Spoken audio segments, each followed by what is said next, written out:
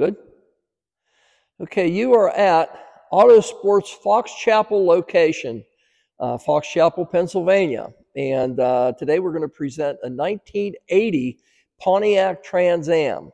Now, this is kind of getting out of the era of the Trans Ams with the bigger horsepower and everything. And what we have here today is the biggest hammer you could buy in a Trans Am in 1980. Um, in fact, the ones in California had 305s in it. This is a uh, a 305 Chevy. This is a 301 turbo in this car, making approximately 210 horsepower, and uh, it, it, just makes a lot of mid-range torque, um, and pretty much a duplication of what the 400s used to do. Very, very close to what they used to produce. So we're going over it. Uh, a quick history of the car. It was left in an estate. Uh, we purchased it off the uh, uh, survivor of the estate belonged to her husband. Uh, obviously, it was garage kept. He had a lift, did his own oil changes, all his own maintenance on it. The car's never been subjected to any type of trauma whatsoever. Uh, the paint on this car, from what we can ascertain, is all the original paint on it. If there is any paint work, we can't determine it. It um, it's just a really nice car, and you'll see from some of the closer photography that Anthony's going to supply with the uh, video and and all the uh, uh, specs with the car. The paint itself is just very, very lustrous. It has a nice deep shine to it. Even though it's how many years old now, it's just as it was when it left the factory. You can't get one much nicer than this. But we're going to do an overview and show you whatever we can. And if there's any little tiny defects that I can pick out, I'm going to show them to you.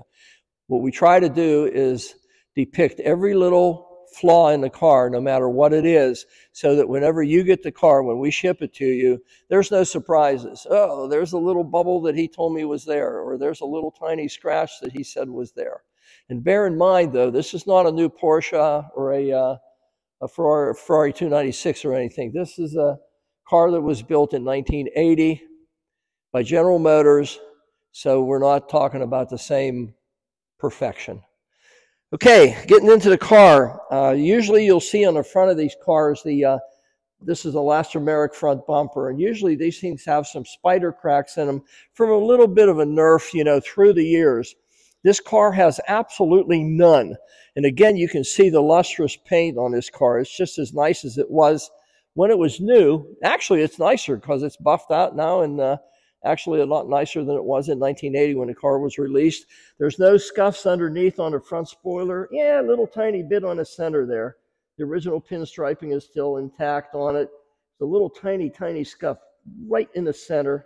A couple little chips in the uh, uh, paint stripe that goes along with it. But the important part is the grills, which are usually broken or shrunk up or deteriorated in some way, these are not. And again, the front bumper, not a mark, not a single mark anywhere on it. Absolutely none. Nothing that you can uh, fault it for. The uh, gaps along both sides of the hood and across the front, of course, it goes clean up to the windshield, is spot on. It cannot be any nicer than it is. It is, absolute, for that era, perfection. Turbo 4.9 designation on the uh, scoop that it has, which, by the way, you'll see in our drive video, it does have the uh, lights that light up for degrees of turbo boost in it. So I think these things were boosted up to about nine pounds at that point in time, which gave them the horsepower that they had. Don't forget, in 1980, they had to conform to all the uh, federally mandated uh, emission specs that were um, uh, put into effect at that point in time. So this guy had to do that. And that's why we're down on horsepower in comparison to what they were in 1977 or 6 or 5 or whatever. But um, this is, um, it's uh, just a fantastic car. Um, the fender flares front and back on the wheels, which you'll see going down the sides of it, are as nice as can possibly be. There's no uh, chips or marks or scuffs on them. They still have the original paint striping on them the way they were. These are functional vents that do leave um, a lot of um, hot air out from underneath the hood. There's one on each side of the car that help evacuate a lot of the heat that uh, is, is produced underneath this hood because of that turbocharger being there. Very nice car. And again, the original paint striping that came from the factory. No marks or scuffs or any indication that the wipers have ever been used on it. 10 of 05, the last time it was inspected. But we assure you that this car will pass any inspection that there is. I mean, the tires are new on it. The exhaust system is original and just as brand new as you could ever find.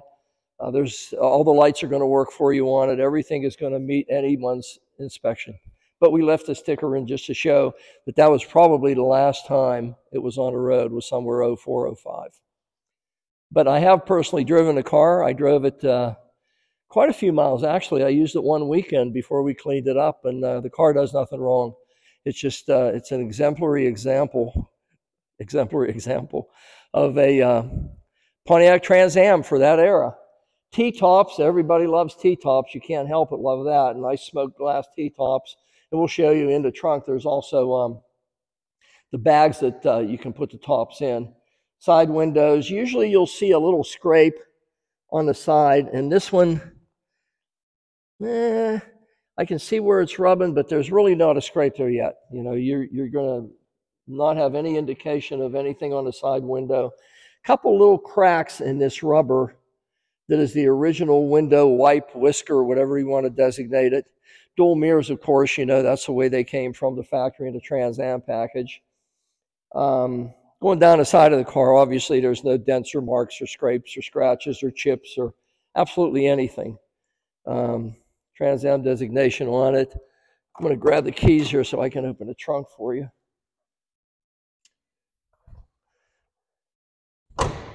And you can see the way the doors open and close too. They're just it's just as nice as you could ever expect. You don't need to slam it. It, um, it closes just the way it should. Gap on the back of the door to the quarter panel and on the front fender to the door are equal. They look to be about, I don't know, an eighth of an inch. Both very, very nice and just the way they should be. A Firebird designation on the side. And again, all the original pinstriping still there.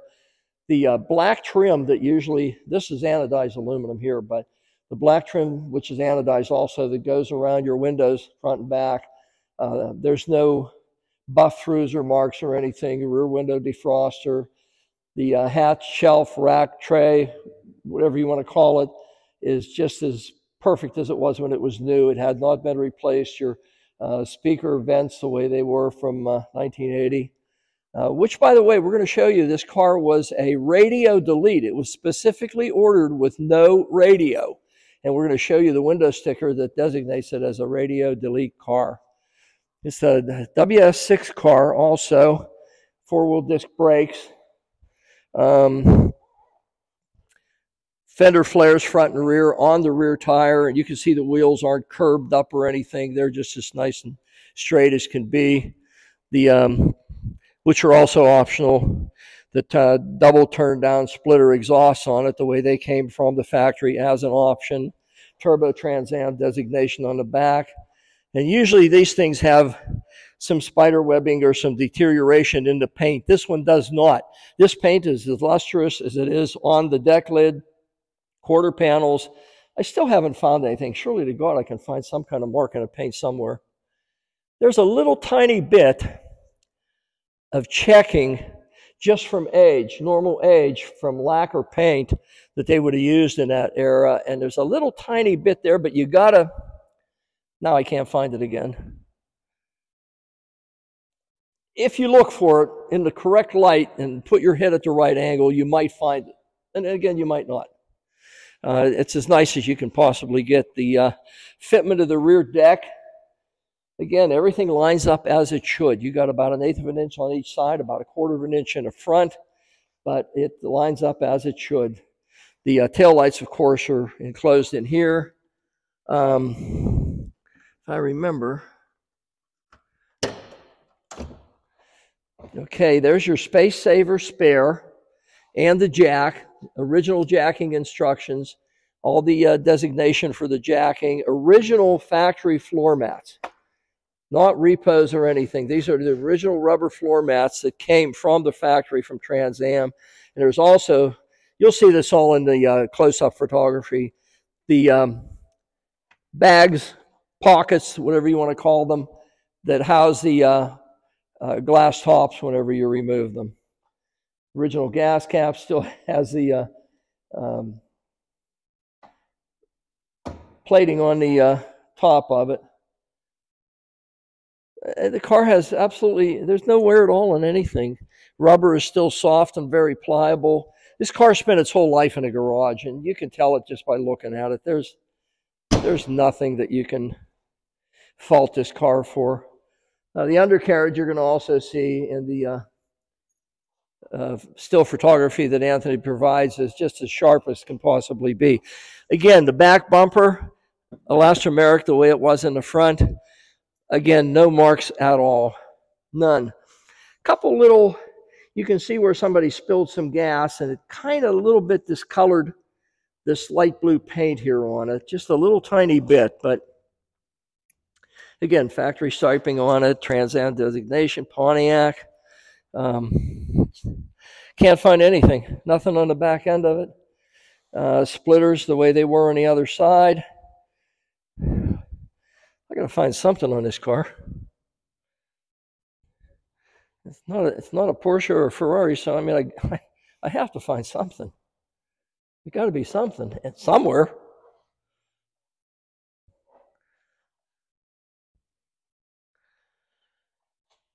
Jesus, I don't know. Even your fender lips here, you know, your flares that are normally all stone chipped up. This one is not. And again, the tires are, they're new. They're BFG radial TAs and they're new. Uh, same thing on this side. Couple little tiny, again, you could maybe wet sand it and buff it. I wouldn't. It's original paint on this thing. I would leave it alone. But if you look in the correct light at the right angle, you can see a little tiny bit of deterioration in the paint from just shrinkage through the years. And I mean, you really got to look for it, guys. I mean, this is not something that just sticks out like a sore thumb.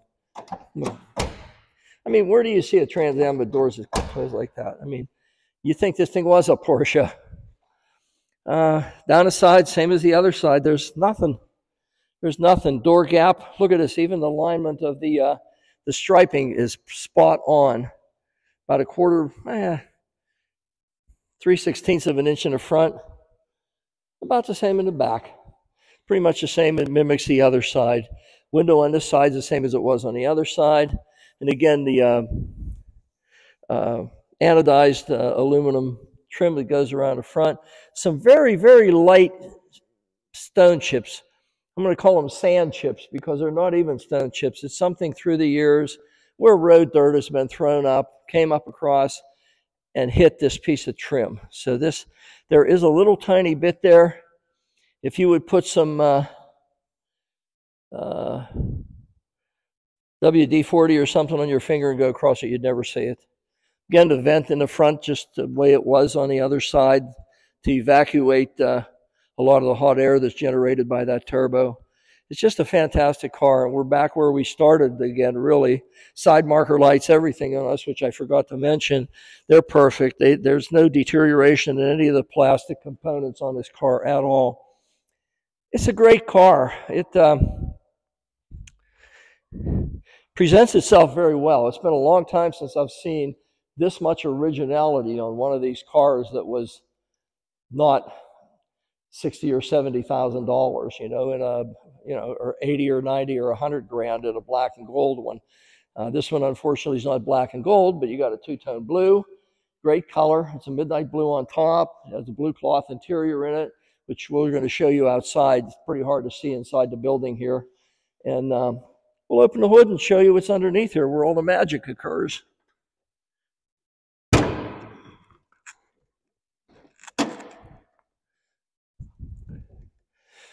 Okay. All the stickers still present with the car, just the way it came from the factory. Still has the air pump on it. There's your turbocharger. Uh, of course, there's a four-barrel quadrajet underneath the uh, air cleaner there. Air conditioning compressor looks like it. It's either been serviced or replaced, one of the two. It looks like it's a fairly new one. Alternator's original. The um, underhood area of this car is just the way it was in 1980 when it left the factory. Some uh, aluminum um, heat shield from the hood for the turbocharger and the exhaust. It's just a, a, original car. No one's ever messed with this. Nobody's modified it in any way. Uh, it has a huge radiator in it, probably because of the air conditioning and the turbo. Uh, power steering, power disc brakes, um, new battery. There's nothing. There's not a single mark anywhere underneath the hood of this thing that would show that it's ever been anything ever done to it. I mean, it's like I said, it still has the uh, uh, original air pump on it yet. This is as nice a Trans Am as you're ever going to find. We're going to do a quick uh, drive video on it for you, and then we'll show you all its amenities outside. You know, the interior, the paint, you'll be able to see a little bit better because, again, we're under fluorescent lights now in a building, but uh, pretty tough to do outside, especially down in Fox Chapel. We're right across from the uh, um, boat ramps for the uh, marina, so a lot of people in and out. This car is as nice a car as you're ever going to find. It's available here at uh, Fox Chapel Auto Sport location, and uh, you're just not going to find a nicer one than this. It's going to be very nominally priced. It's not going to be a $60,000 car. It's going to be certainly less, probably less than 50. And the car is a real low mile car, I believe. What did it have on it, The 20 some thousand? Yeah, we'll, we'll show you the mileage, we'll show you the dashboard, we'll show you everything outside. Again, it's hard to depict on the inside of the building here, but we are going to take it for a ride. we show you how it runs and show you all the amenities outside. It's here at Fox Chapel. Call Anthony and buy the car.